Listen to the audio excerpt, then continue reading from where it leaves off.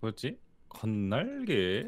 아, 제가 뭘 하면 돼요? 각별님은 파크모를 그냥 때려 잡으시면 됩니다. 이제 시작하면은 파크모 쫓아가서 잡으면 돼요.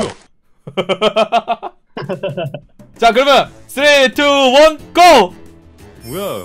한번 보여줘라 파크모야! 어떻게 한 거야? 덤벼라 각별. 어?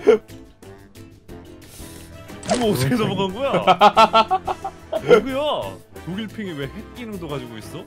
잠깐만. 이거 진짜 아, 위에 날았다! 살았다. 왜 날아가? 왜 어떻게 날았어? 나왔다. 와. 아직 삐약한 나왔다. 죽어! 쌀파리 같은 놈. 아니 여기 어떻게 넘어가? 뭐지? 뭐됐지? 잡아봐. 잡아봐.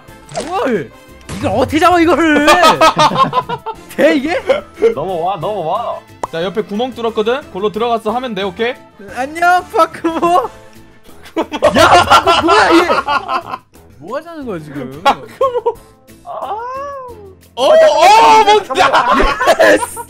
지금 저기요 마크에서 핵 쓰는 거예요 지금?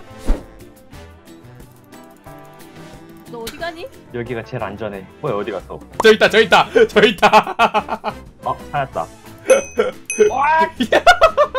자 구멍을 하나 뚫어드렸거든요? 파크모야! 파크모야! 여기 있으면 안전해. 와 온다. 아 잠깐만 살려줘. 나갔어요. 아, 고. 야. 이게 왜 어떻게 올라가 이거? 아 이게 말이 안 저기요? 봐봐. 멍청한 공룡 너는 올라올 수 없어. 아, 이게 어떻게 가능한 거지? 아 이거는 말이 안 되는데요. 저 잠시만 랜선 좀 끊고 올게요. 뭔 소리야 랜선을 왜 끊어 아니 미친 독일핑 녀석 이상한 스킬 배워갖고 야나 안 올라가지.